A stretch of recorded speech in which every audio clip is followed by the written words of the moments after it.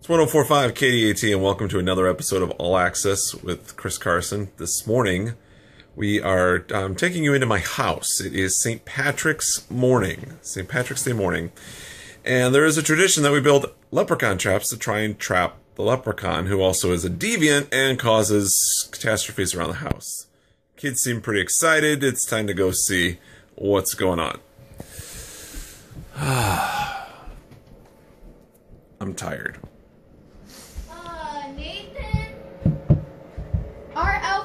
Shelf is in there. Elf on the Shelf? What holiday is this? Yeah, our elf on the shelf is in there. Oh, this is turned around. So we built a bunch of um, leprechaun traps, and this is one of them.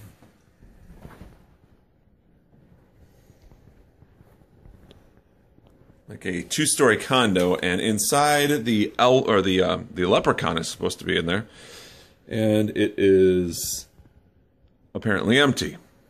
And we have found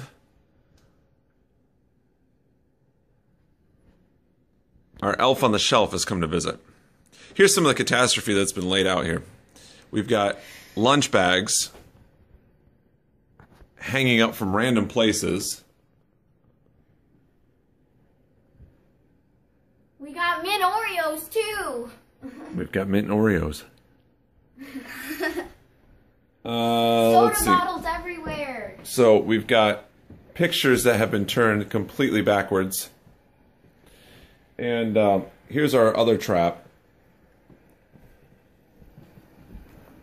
Which in this light you can't see very well, but uh, apparently not trapping the elf either, or the uh, leprechaun. Now I'm all confused because we got our elf.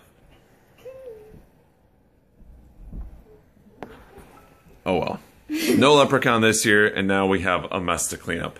Happy St. Patrick's Day. It's all access with Chris Carson on 1045 KDAT.